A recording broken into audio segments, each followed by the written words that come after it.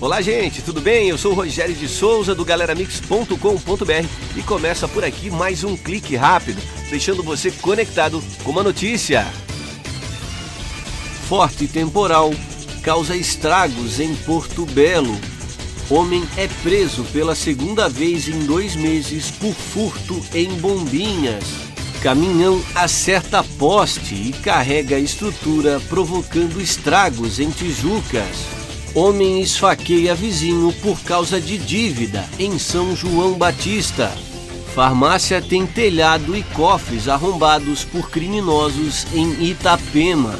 Novo salário mínimo que passará a valer a partir do dia 1 de janeiro passará de R$ 1.212 para 1.302 reais. Edição 2023 do Desenferrugem já tem data confirmada. O evento acontece no dia 4 de fevereiro, na Live Shows e Eventos em Tijucas.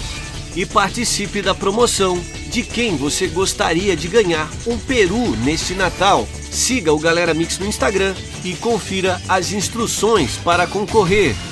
Essas e outras notícias você confere em www.galeramix.com.br e a qualquer momento voltamos com mais informações ao vivo, diretamente da nossa redação.